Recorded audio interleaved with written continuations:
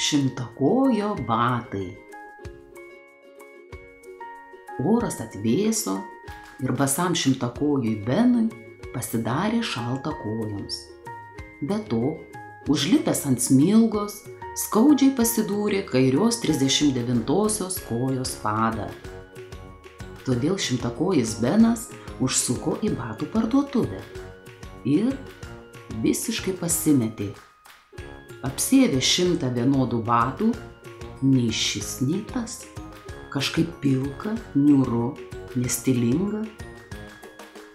Reikia pirkti skirtingų spalvų batus. pagalvojo Benas. Apsievė lyg ir geriau, bet Ar negalėtumėte man parduoti 50 kairių ir 50 dešinių batų, bet skirtingų? Dar ko sugalvosi? piktai atšovė pardavėja. Batai parduodami poromis. Šimtakojis nusiminė ir basas išdrožė iš parduotuvės. Ką daryti?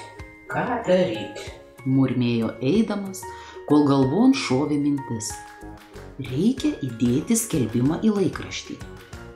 Negali būti, kad pasaulyje nėra daugiau nei vieno šimtakojo, kuris norėtų puikuoti skirtingais batais. Juk tai taip šaunu. Pavyzdžiui, nueini į fotoateljė, atsistoji vienu šonu, paskui kitu ir turi dvi puikias visai skirtingas fotografijas.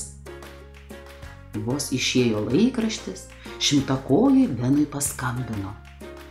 Nuostabiausia, kad tai buvo ne kitas šimtakojis, o šimtakojai. Jie kartu nuėjo į parduotuvę ir nusipirko 200 porų batų, o paskui juos draugiškai pasidalino. Net piktoji pardavėja nusišypsojo ir pasakė, kad taip gražiau ir įdomiau. O paskui šimtakojas ir šimtakojė ėmė draugauti, galo iškėlė vestuves. Ir iki šiol gyvena gražiai ir laimingai, augindami visą būrį linksmų šimtakojukų. O jei šimtakojo Beno išminti pasiskolintų žmonės, dėja nieko neišeis, nes berniukų kojos visada didesnės už mergaičių.